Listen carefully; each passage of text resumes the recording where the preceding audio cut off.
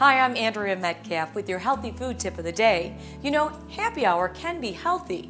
Try and keep those drinks under 200 calories so you don't blow your whole diet. Today, let me teach you how to make a light Roman holiday. You're going to need some ice, Campari, bitters, either honey at about 35 calories a tablespoon or an artificial sweetener for zero calories, and some grapefruit juice. So let's get started. Start first with an ounce of Campari. Now everything you're going to add into the blender, but it's good to measure out alcohol because this is one place where you don't want to be off on your calorie count. You're also going to add in just a shake of bitters, which is about a teaspoon.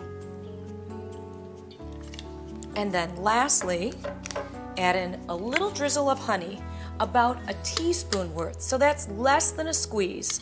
And lastly, you're gonna add in your grapefruit juice. You want about two ounces of grapefruit juice. Again, because it's a liquid, I like to measure these out. One and two. Now to make this nice and frothy, I'm going to blend it with about a half cup of ice. All right, and now for the final touch.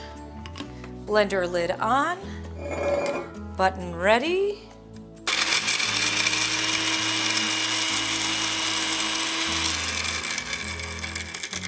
Looks pretty good. Smells pretty good.